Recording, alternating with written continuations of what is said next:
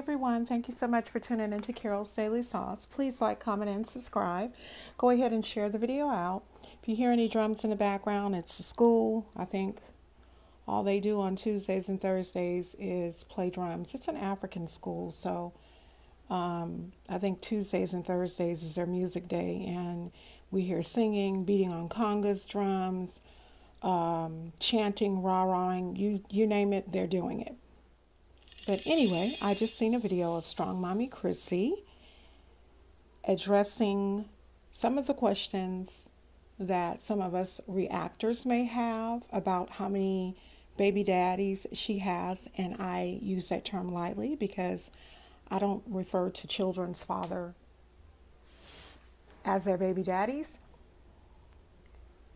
But anyway, she wants to educate us as Chrissy always says, if you have a question, if you have a concern, if it hasn't come out of her mouth, nine times out of ten, there is no truth in it. I can just tell you this I've done a few videos on her, reaction videos. And in doing my reaction videos on her, in the beginning, I believe the very first reaction video that I did on her was when her younger children's father left. The one that she refers to as Oh Buddy Cuz. And I pictured her, I, I, I saw her on the video cutting up her husband's belongings. It infused an anger in me because she was cutting up someone else's property, whether they were knockoffs or not, because I believe I made mention of them being knockoffs or whatever. But I'm going to tell you from that video to this video right now, I look at Strong Mommy Chrissy from a whole different set of lenses. Now, I will tell you, out of all of the infamous three, it appears to me that Strong Mommy Chrissy is the one who seems to have her head twisted on a little bit better. In this particular video, she was indicating how she does not allow the number of her baby daddies to define her nor her children. For that, I have to applaud her because whether you have six or 12 baby daddies, the most important person, without a doubt, or persons, is the children, period. She also went on to say that a lot of times people tend to think that she's either a hoe or that she was promiscuous or all kinds of other names that we could call her. Like I said before in a video in the past, that she was trying to find love in all the wrong places. So for her to come out and say this all stemmed as a result of trying to find love in all the wrong places. She indicated that she was in a relationship with all of their fathers. All of their fathers. She was in a relationship. And she didn't plan on having nine children. Now, I have to say this. If you didn't plan on having nine children, as I've said several times before, we have to put out there she does have a set of twins if you didn't plan on having nine children and you know how to make a baby and how not to make a baby, which is what she says later on in the video, then I don't think it's right for her to say that she didn't plan on having them. But then let's just go ahead and go through with it. So she had a relationship with all of the fathers. She said that other people tend to think that they know what's going on in her life, and they don't. Technically, she only has six fathers, six babies' daddies. And no, she's not proud of it, but it's something that she's not going to hide behind either. No, she is not glamorizing it, but it's something that she chooses not to hide over.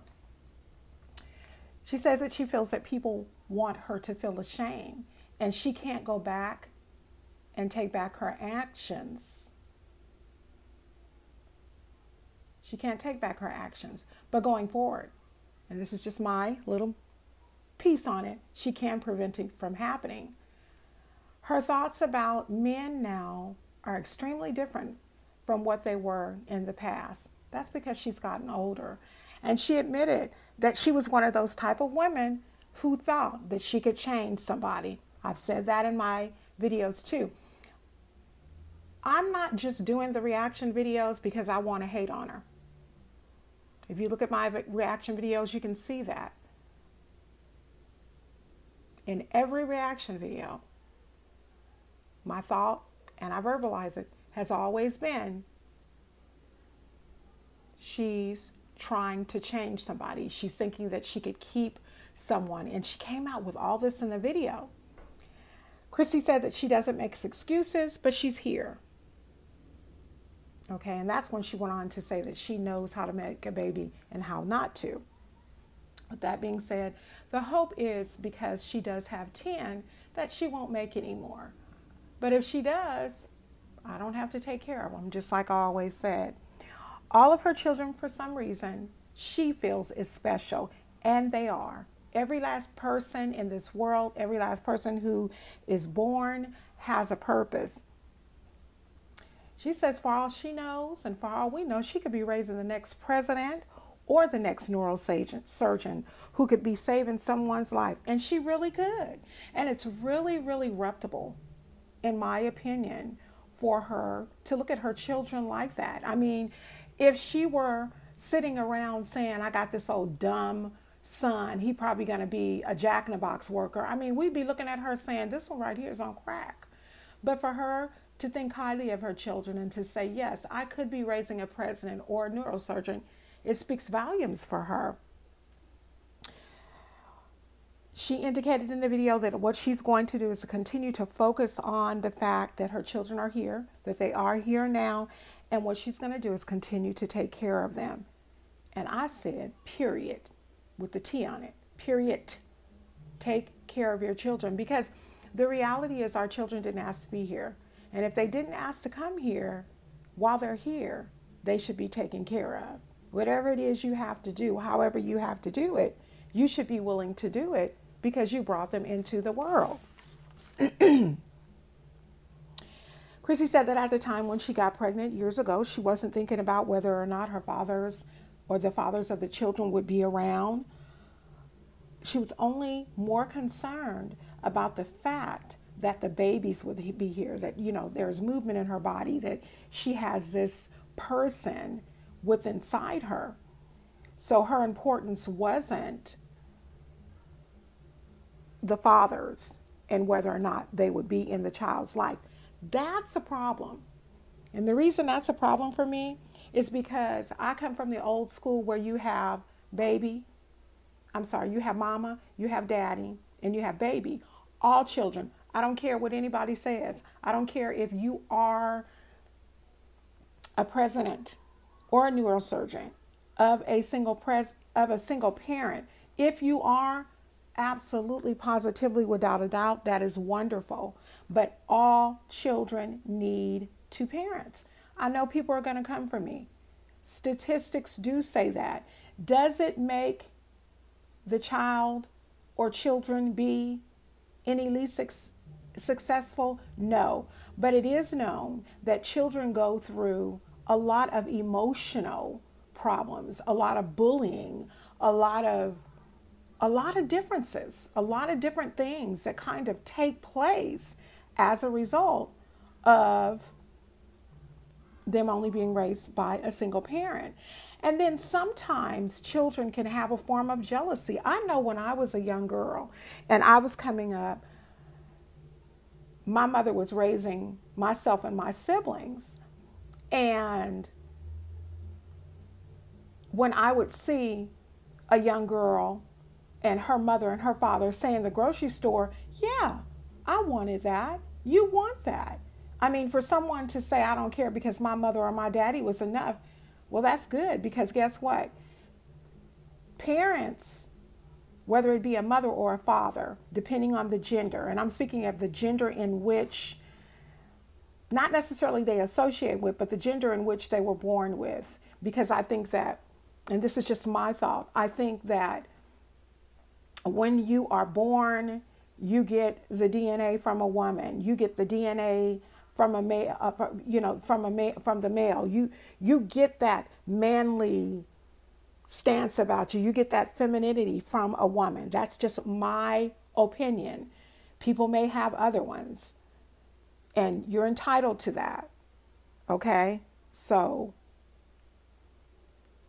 I know I'm going to get some comments for that. Who knows? I may turn the comments off on this video. I don't know. It depends. But a child that is raised without their father, a child that is raised without their mother, that child that's raised without their father lacks the femininity that a mother can give. The son that is raised without that father, excuse me, father lacks at times the masculinity a male can give unless there is another male figure in his life. I don't give a rat's petunia what anybody says about a mother raising children because I did it on my own. I raised a daughter and two sons. And guess what? I did horribly when it came to being a male because I'm not a male, I'm a female. So I can't teach a young man how to be a young man, period. I can't do it. I can read in books how to be a single parent raising a son, but there are some things that are you're not going to be able to do.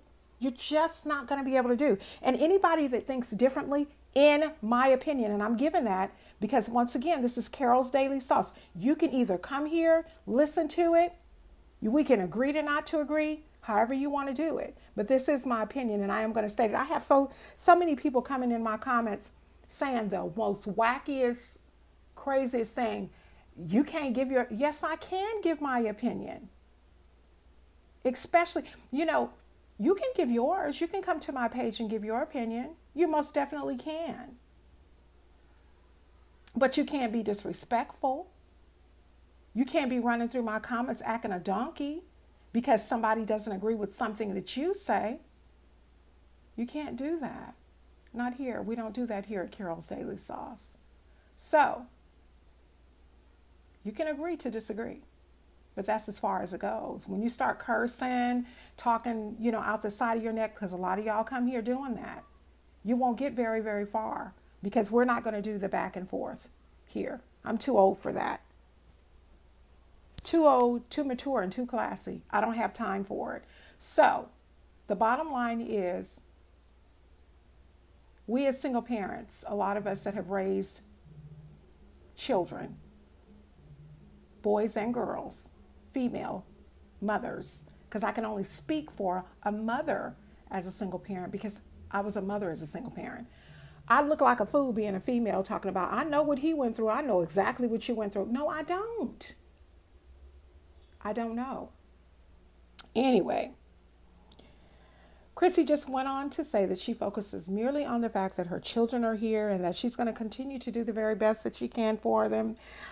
Um, and that she's going to continue doing the very best for them. And that the babies are here now. You know, they're here now. Some of them are not babies. I don't know. Mine's are 30, 27, 22, and 20. And I still say my babies. But that's just the way that I refer to mines. She even gave us a little sneak peek indicating that she thought about having abortions on more than one occasion, but she didn't feel like that was right for her personally.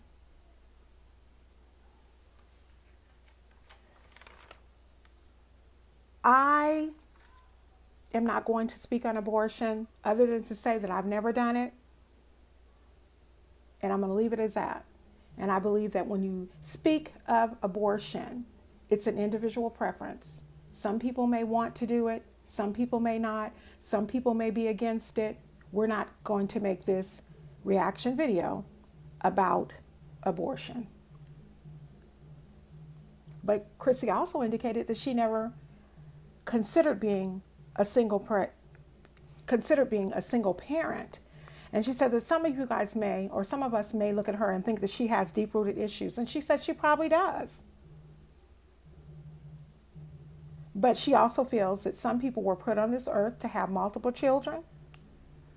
And there were some who shouldn't have even been birthed themselves. And I'm telling you, when she said that, I went, Oh, Jesus, the sad thing about it is that I really, really, really agree with that.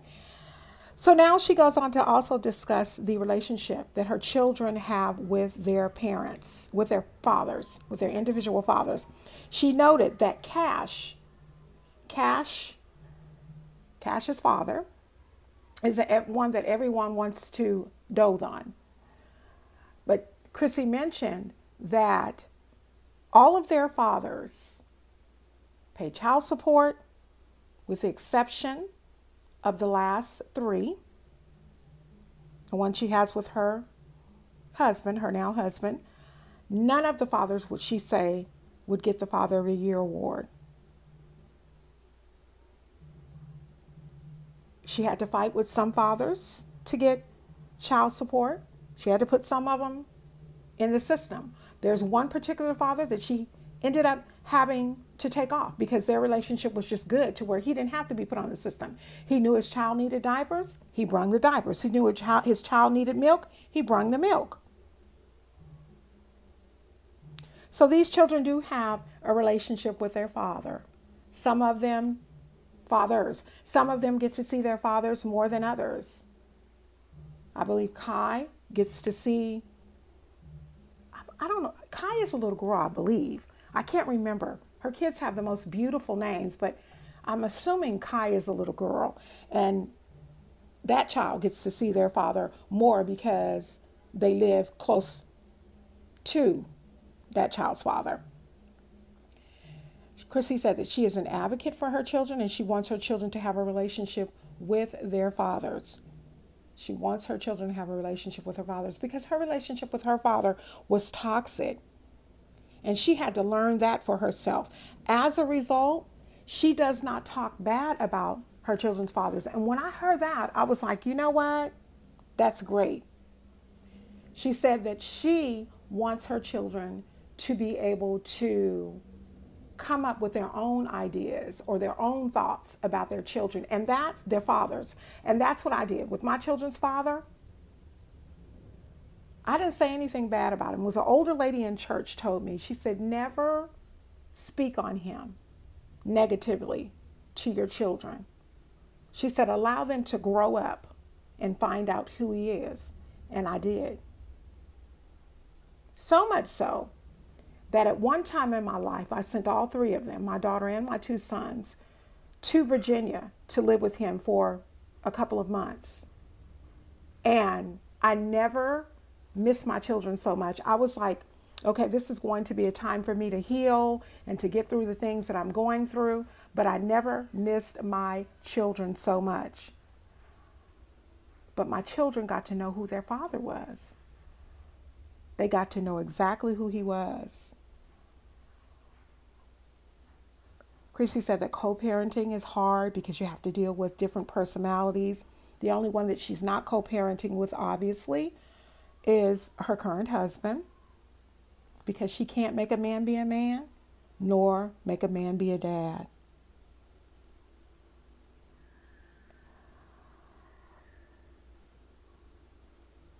She said that she was forced to put a lot of them, as I said, on child support because she got tired of begging. She got tired of going through the back and forth of no you didn't give me no money. Yes you did give me money. Didn't okay you're going to drop some diapers off at the child care and they never would.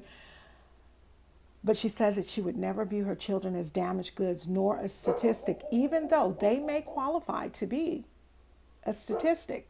She's not going to qualify them or lump them in that coal her job and her responsibility is to take care of them the very best that she can. And then this part right here of the video really, really resonated with me. And she said, a lot of people who do videos on her tend to think that she woke up one day just saying, I'm going to be a single parent. She said there are a lot of single parents out here, and nobody, nobody wakes up saying, Oh, I'd love to be a single parent today. She says that as a single parent, you don't get a mental break. No one is there to take care of you, and that's very hard. And that they did not ask to be in that position. Nobody ideally wants to be a single mom, quote unquote, strong mommy Chrissy. And she says that very sarcastically. She also indicated that she didn't feel the single moms get enough credit, especially from black women. Because we as black women like to blame her and others, single mothers, about the relationships ending. This part right here, I do want to talk about a little further. So, I've been there. I've had ended relationships, I've had an ended marriage, I've also raised my children by myself.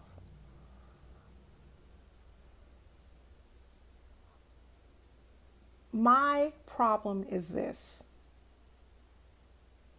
if you're married to someone, if you're in a relationship with someone, and you have a baby, y'all break up. You get in a relationship with someone else, you get pregnant, y'all have a baby, you break up. You're in a relationship with another person y'all have a set of twins. You break up. Now you have twins as well as the other children to raise. So, my issue is this whether we as black women know how or why a relationship broke up, my question is why is it that we don't learn from being in multiple relationships not to keep having children by multiple men. If you had two children by two different men and those relationships didn't work, why would you get yourself then in another relationship, get pregnant, and have another baby and be raising the child by yourself again? And now you have an army of children who don't have their fathers in their lives. See, it's the problem for me is the word am I trying to say? I got a brain freeze, not a freeze. I don't want to say the other word. I got a brain blank. Oh my gosh, what is the word I'm trying to say? Pattern. A pattern. You know, why not get into a relationship with someone, you've got all those children already. Why not get into a relationship with someone and get to know the person a little better before you have children with them? From what I can understand, old buddy cuz or her husband, and a lot of people tell me that that's not even her husband, that's her, I guess, common law or who she refers to as her husband. He already had children. He already had a child. So it wasn't like he didn't have children. And then he impregnate, impregnates her. She has three sons by him, and then he walks away. Y'all, we got to do better. I believe we as black women don't give single black women credit. But I know a lot of black women who were in a relationship, got pregnant, and had one child and never had another one again. Never married and never had another one again. We've got to be smarter. Chrissy is 29 years old, about to be 30 years old. You mean to tell me you're still looking for love in all the wrong, uh, in all the wrong places? She said she wasn't in the video. She said that she wasn't. She said in the past she was looking for love in all the wrong places. But yet and still, we've got Onyx, we've got Cash, and the other one. The last three I don't know. Said that a lot of people are saying that she picks the wrong person and you know, we're pointing the finger at her and pointing the finger at other single parents and no matter what we do she's speaking of single parents. A lot of the other black women tend to think that we run them off you know but that they could be cooking cleaning and the men still leave she says some of the men come to them broken well if a man comes to you broken you should know it quickly a broken man will reveal his brokenness quick. You just have to be willing to see it. A broken man's brokenness can be revealed very, very quickly. I know it does with me, and it has with me.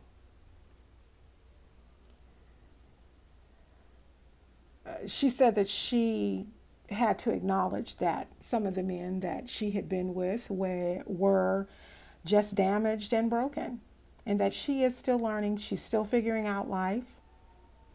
She can see where she messed up, and right now, instead of focusing on where she messed up, she wants to focus on being the best mother moving forward. I hope, in fact, that is the case. As I said, I look at Strong Mommy Chrissy from a whole different perspective. I really, really do, based on what I did in the beginning when I first started doing reaction videos on her. However, the part I do have a problem with is that she doesn't get enough credit and that single parent black women don't get enough credit, especially from black women, like they are to blame for their relationships. And I don't think it's so much that they are to blame for the relationships ending, but I think it's more that people look at the pattern. If you have one child by a man and he don't seem to be acting right, or if you have two by him why break up with him, get with another one, and have two more? That's all I'm saying. If you're struggling to take care of the ones that you already have, if you're struggling to get child support from the ones that you already have, why would you have more to add more struggle? Not to say that children are a mistake, because no children are a mistake. I completely understand what she's saying about children being a blessing, because they most definitely are. However, sooner rather than later. We have to get to a point to where we aren't just having babies to fulfill a part within us that can only be made whole with having babies. I think a lot of times when women have a plethora, a, a whole gang of babies, and they're not married, I personally think that they're, yes, looking for love in all the wrong places, but they're also looking to fulfill or fill a void that only a baby can um, only a baby can fix because babies are innocent babies are sweet. You give a baby a bath a baby smells smells good. A baby needs you. A baby can't do anything for themselves. You know what i'm saying Sometimes some women have to have a need to be needed. With that being said, please like, comment, and subscribe. Don't forget to click on the bell to be reminded of all of the videos I upload. And I wish you all a wonderful day. God bless you. Bye bye.